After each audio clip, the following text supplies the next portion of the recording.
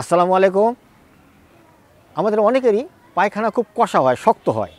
আর এই শক্ত পায়খানাটা, যত শক্ত পায়খানাই হোক না কেন, আমি আপনাদের একটা ব্যায়াম দেখাবো, যে ব্যায়ামের মাধ্যমে পায়খানাটা একেবারেই নরম হয়ে যাবে এবং দ্রুত গতিতে আশ্চর্যজনক আপনারা ফল লাভ করতে পারবেন এই ব্যায়ামের মাধ্যমে। লক্ষ্য করুন, ব্যায়ামটা কীভাবে করতে হবে? প্রথমে আমরা ঠিক এইভাবে বসবো, পাটা রাখব এবং এখানে পাটা রাখব, রেখে মেরুদণ্ড সোজা রেখে নিঃশ্বাসটা একেবারেই ত্যাগ করে দেবো। ত্যাগ করার পরে one two three four five six পর্যন্ত আমরা নিঃশ্বাস নিতে থাকব, অর্থাৎ এইভাবে। যখন আমরা নিতে থাকব, তখন আস্তে আস্তে আমরা ওই নিঃশ্বাস নেওয়ার সাথে সাথে আস্তে আস্তে প্রতি ধাপে ধাপে আমরা কপালটা নিচে নামাবো। নেমে এখানে আমরা দম বন্ধ করে রাখব, ছয় পর্যন্ত মনে মনে গুনবো। অতটুক টাইম আমরা দম বন্ধ রাখব। তারপর দম বন্ধ রাখার পর আবার আমরা আস্তে, দম বন্ধ রেখেই আমরা সোজা হয়ে বসবো।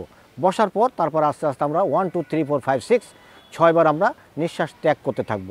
লক্ষ্য করুন ব্যায়ামটা ঠিক কীভাবে করতে হবে আর হাত দুটো সজোরে আমরা পাকস্থলে এবং যকৃততে চাপ দিয়ে ধরে রাখব, ঠিক এইভাবে। লক্ষ্য করুন।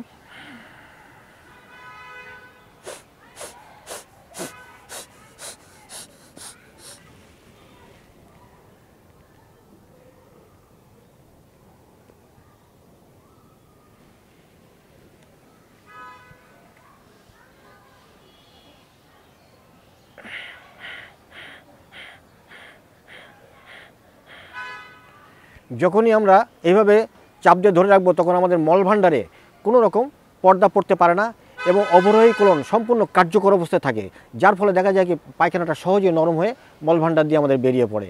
এই জন্যে আমরা প্রত্যেকে চেষ্টা করব ঠিক এইভাবে নিয়ম মতন, নিয়ম অনুসারে ব্যায়ামটা করার জন্য। অর্থাৎ এইভাবে যখন আমরা ছয় পর্যন্ত গুনতে গুনতে নিচে নামাবো এবং উপরে উঠবো, ঠিক এটা হবে, এইভাবে ছয়বার করব আমরা। ছয় প্রস্ত করব। ছয় প্রস্ত করার পর হবে একবার। আর এটা হবে একবার। এভাবে আমরা ছয় ছয়, ছত্রিশ বার আমরা মানে ঠিক এইভাবে ওঠা, বসা এবং দম নিঃশ্বাস ছাড়া নেওয়া করব। ছত্রিশ বার, অর্থাৎ ছয় ছয়, ছত্রিশ বার। ছয়বার করার পরে একটু সামান্য টাইম বিশ্রাম নেব। আবারও শুরু করব। আবারও একটু বিশ্রাম নেব, আবারও শুরু করব ছয়বার ঠিক এভাবে ছত্রিশ বার আমরা ব্যায়ামটা করব। একই নিয়মে। লক্ষ্য করুন, আরেকভাবে করতে হবে যে ব্যায়ামটা।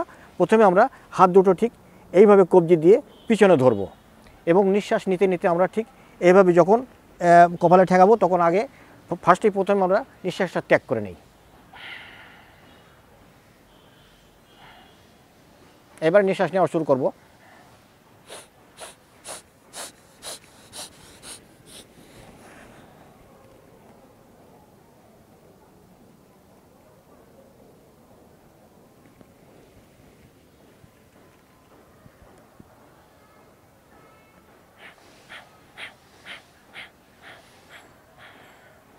এখন নিঃশ্বাস ছেড়ে দিলাম ছয়বার।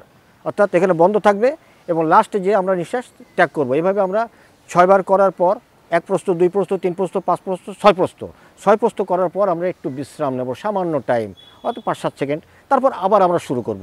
এইভাবে আমরা মোট করার পর আবার ছয়বার করার পর একটু বিশ্রাম নেব, আবার শুরু করব। অর্থাৎ ছয় ছয়, ছত্রিশ বার আমরা এই ব্যায়ামটা করব। করার পর আমরা ব্যায়ামটা শেষ করব। আমরা প্রত্যেকে চেষ্টা করব ঘুম থেকে উঠে বড় গ্লাসের এক গ্লাস পানি খেয়ে তাতে একটু লেবু দিয়ে ভালো করে রস করে খেয়ে আমরা ব্যায়ামটা করার চেষ্টা করব। এবং অন্য কোনো সময় যদি করি, তবে খাওয়ার ঠিক আড়াই থেকে তিন ঘণ্টা পরে আমরা ব্যায়ামটা করব। অবশ্যই আপনারা পানি একটু বেশি করে খাবেন। বেশি করে খেলে দেখা যাবে কি পায়খানাটা সহজেই নরম হয়ে যাবে এবং ব্যায়ামের সাথে সাথে একেবারেই সুন্দর মতন ক্লিয়ার হয়ে যাবে ইনশাল্লাহ